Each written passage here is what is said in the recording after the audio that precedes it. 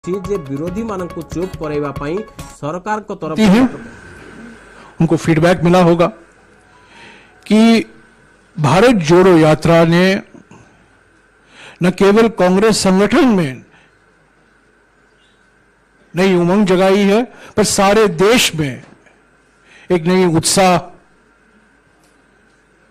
एक नया भविष्य का रास्ता दिखाया है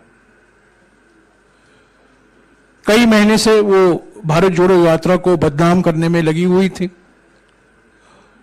और मैं समझता हूँ कि आज जो हमने देखा है, ये डिस्क्वालिफिकेशन एक तरह से आप देख सकते हैं कि जैसा कि अभिषेक सिंह जी ने कहा, राहुल जी को कीमत चुकानी पड़ी उस भारत जोड़ो यात्रा की सफलता के कारण।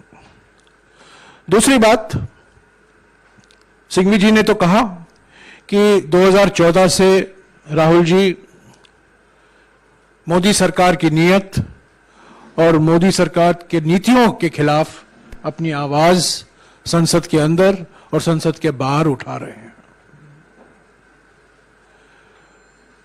ये नोटबंदी के बारे में इन्होंने ज़िक्र किया जीएसटी के बारे में इन्होंने ज़िक्र किया। चीन को जो जून 2020 में प्रधानमंत्री ने क्लीन चिट दिया, उसका भी सिंघवी जी ने ज़िक्र किया।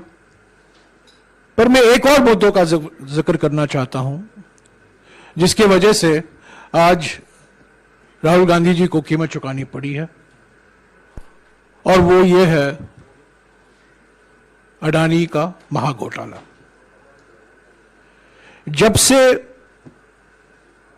राहुल गांधी जी विपक्ष में संसद में बोले थे पचास मिनट का भाषण था। ज़्यादातर उसका एक्सपंज भी कराया गया। और जिस तरीके से 16 पार्टियों ने एक होकर पाँच फरवरी से जेपीसी की मांग की इस घोटाले में, क्योंकि ये घोटाला सिर्फ़ अडानी से संबंधित नहीं है यह घोटाला प्रधानमंत्री की नियत और प्रधानमंत्री की नीतियों से भी जुड़ा हुआ है। इसीलिए हमने जेपीसी की मांग की। आज भी हमने मांग की। कल भी हम करेंगे। परसों भी हम करते रहेंगे। और इस अडानी घोटाले से ध्यान हटाने के लिए आज इनको कीमत चुकानी पड़ी है। तो एक तरफ़ राहुल गांधी जी की कोशिश और दूसरी तरफ़ प्रधानमंत्री की साजिश। ये साजिश बनाम कोशिश। एक तरीके से आप इस तरीके से देख सकते हैं। सिंह जी ने तो कहा, कानून के अनुसार अगले कदम हम लेंगे। समय है हमारे लिए।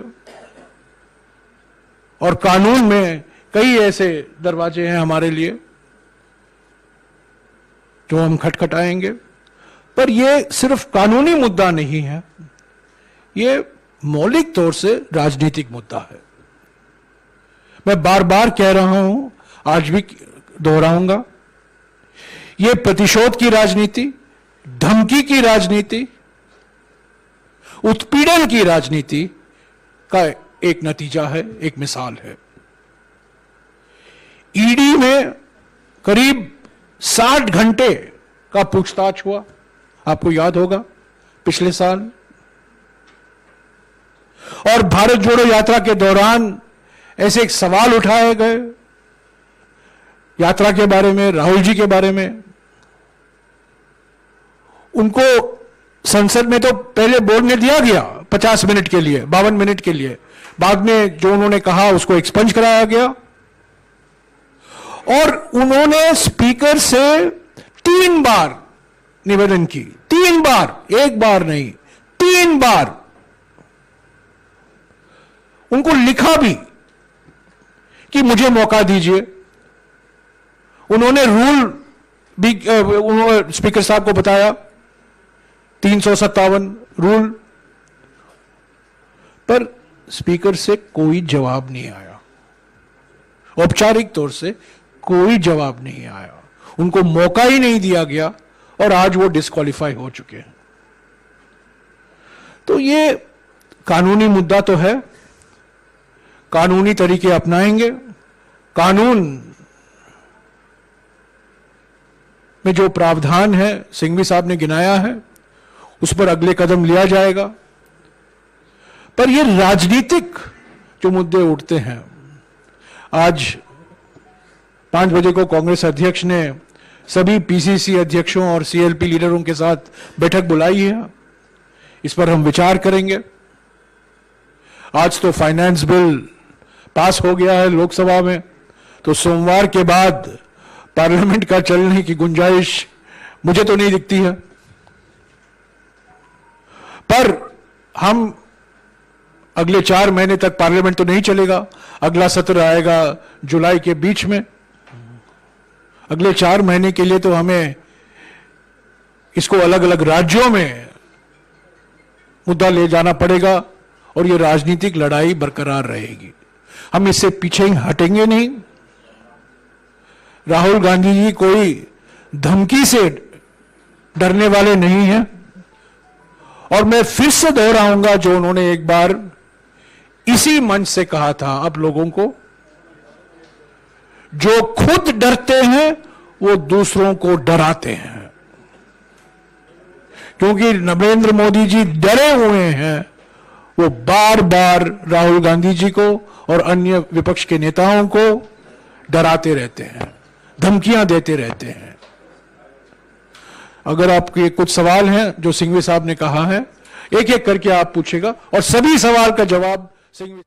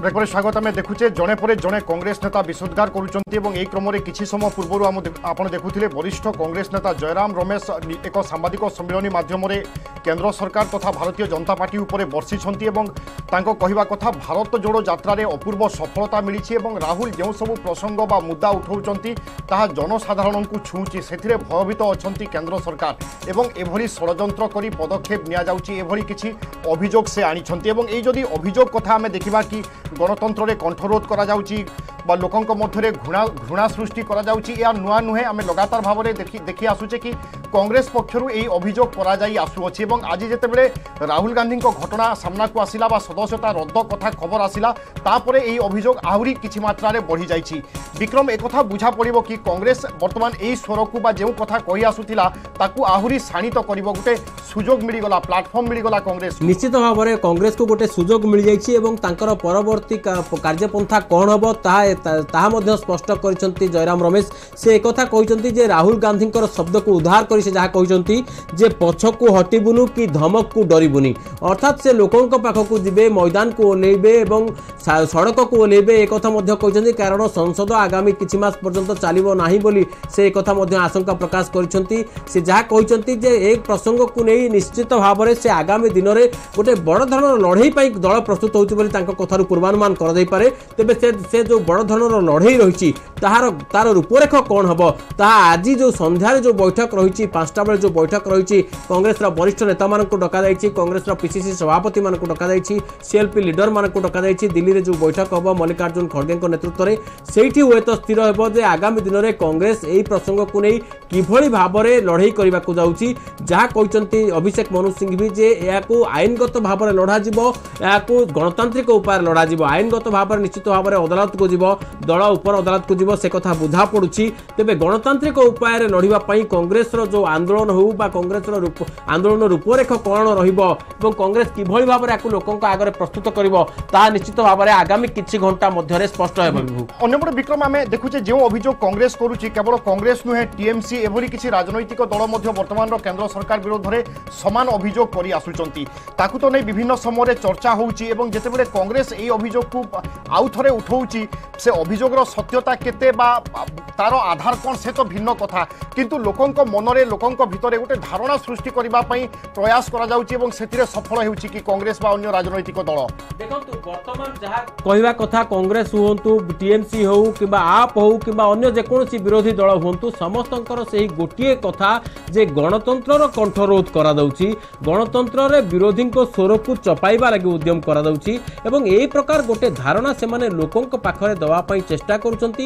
ଏବଂ ଯେଉଁ କଥା ଦୁଇ ହଜାର ଚଉଦ ଏବଂ ଦୁଇ ହଜାର ଉଣେଇଶରେ ଯେଉଁ କଥାକୁ ଲୋକ ଗ୍ରହଣ କରିନାହାନ୍ତି ବା ପ୍ରତ୍ୟାଖ୍ୟାନ କରିଛନ୍ତି ସେମାନେ ସେହି ପ୍ରକାର ଗୋଟେ ଉଦ୍ୟମ କରୁଛନ୍ତି ପୁଣି ଥରେ ଯେହେତୁ ଆଗାମୀ ଦିନରେ ଆଉ ବର୍ଷେ ପରେ ନିର୍ବାଚନ ରହିଛି ତେଣୁ ନିର୍ବାଚନ ଆଗରୁ ଲୋକଙ୍କର ଜନ